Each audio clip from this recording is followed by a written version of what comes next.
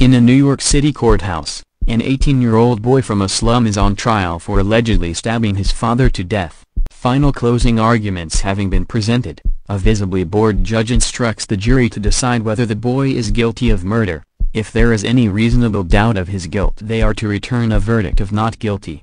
The judge further informs them that a guilty verdict will be accompanied by a mandatory death sentence. The jury retires to a private room, where the jurors spend a short while getting acquainted before they begin deliberating. It is immediately apparent that the jurors have already decided that the boy is guilty, and that they plan to return their verdict without taking time for discussion with the sole exception of Juror 8, Henry Fonda, who is the only not guilty vote in a preliminary tally. He explains that there is too much at stake for him to go along with the verdict without at least talking about it first. His vote annoys the other jurors, especially Juror 7, Jack Warden, who has tickets to a baseball game that evening and Juror 10, Ed Begley Sr., who believes that people from slum backgrounds are liars, wild, and dangerous.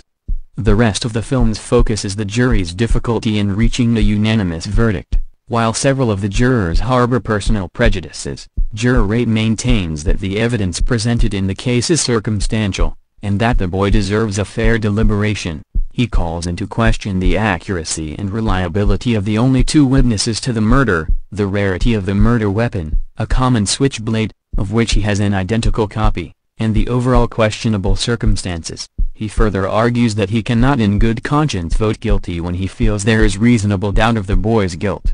Having argued several points and gotten no favorable response from the others, Juror 8 reluctantly agrees that he has only succeeded in hanging the jury. Instead, he requests another vote, this time by secret ballot. He proposes that he will abstain from voting, and if the other 11 jurors are still unanimous in a guilty vote, then he will acquiesce to their decision.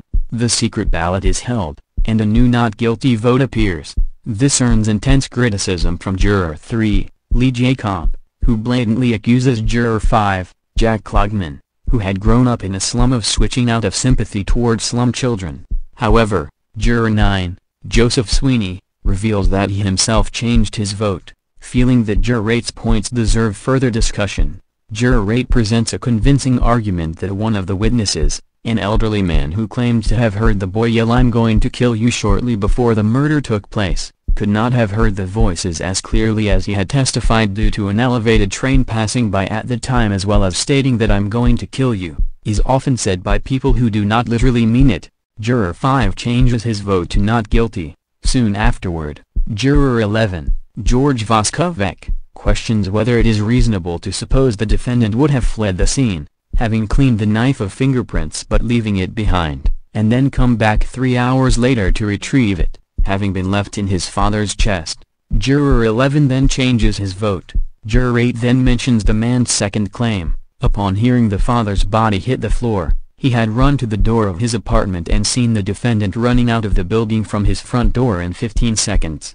Jurors 5, 6 and 8 question whether this is true, as the witness in question had had a stroke, limiting his ability to walk.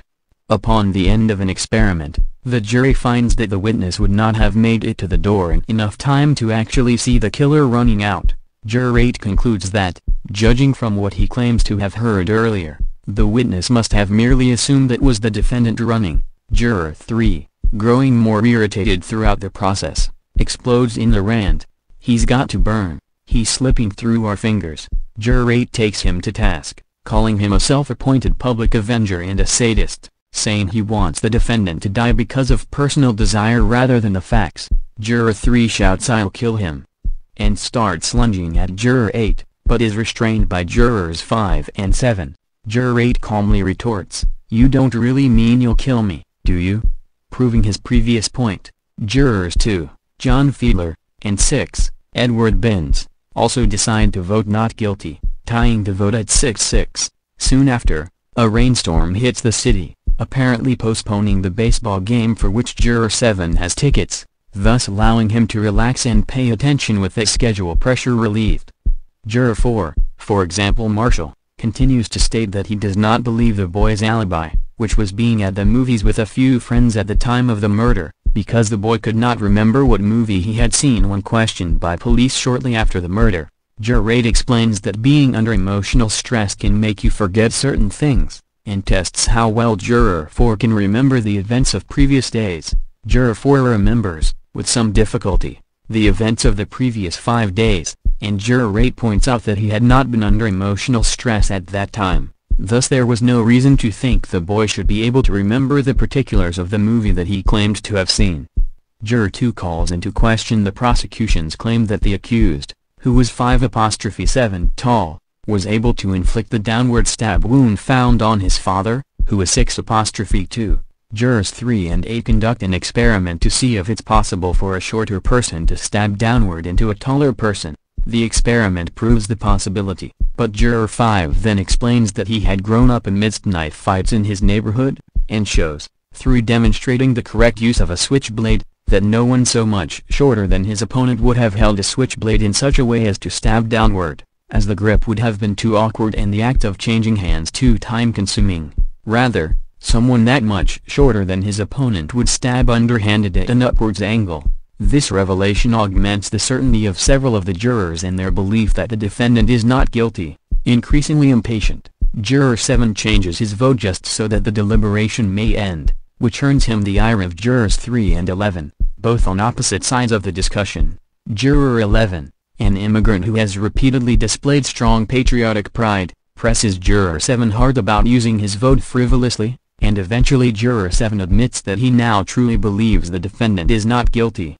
The next jurors to change their votes are Jurors 12, Robert Webber, and the jury foreman, Martin Balsam, making the vote 9-3 and leaving only three dissenters, Jurors 3, 4 and 10. Outraged at how the proceedings have gone, Juror 10 goes into a rage on why people from the slums cannot be trusted, of how they are little better than animals who gleefully kill each other off for fun. His speech offends Juror 5, who turns his back to him, and one by one the rest of the jurors start turning away from him.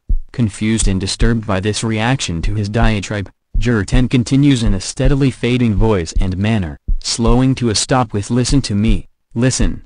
Juror 4, the only man still facing him, tersely responds, I have. Now sit down and don't open your mouth again. As Juror 10 moves to sit in a corner by himself, Juror 8 speaks quietly about the evils of prejudice, and the other jurors slowly resume their seats.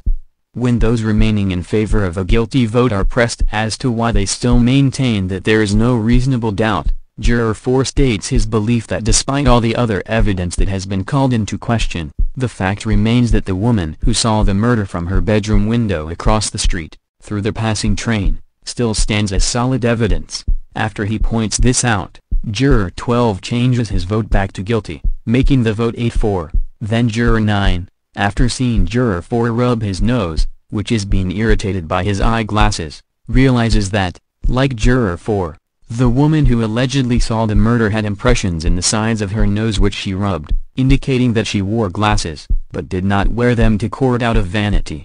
Juror 8 candidly asks Juror 4 if he wears his eyeglasses to sleep, and Juror 4 admits that he does not wear them nobody does. Juror 8 explains that there was thus no logical reason to expect that the witness happened to be wearing her glasses while trying to sleep, and he points out that on her own evidence the attack happened so swiftly that she would not have had time to put them on. After he points this out, Jurors 12, 10 and 4 all change their vote to not guilty. At this point, the only remaining juror with a guilty vote is Juror 3. Juror 3 gives a long and increasingly tortured string of arguments, ending with, Rotten kids, you work your life out. This builds on a more emotionally ambivalent earlier revelation that his relationship with his own son is deeply strained, and his anger over this fact is the main reason that he wants the defendant to be guilty. Juror 3 finally loses his temper and tears up a photo of himself and his son, then suddenly breaks down crying and changes his vote to not guilty, making the vote unanimous. As the jurors leave the room, Juror 8 helps the distraught Juror 3 with his coat in a show of compassion. The film ends when the friendly jurors 8, Mr. Davis, and 9, Mr. McCardle, exchange names, and all of the jurors descend the courthouse steps to return to their individual lives never to see each other again. Note, there is no indication nor is the question never answered if the teenage boy really is guilty or not instead the film makes it clear that this is outside of the question if the jurors cannot be certain that he is guilty, if there is any reasonable doubt, They must acquit him.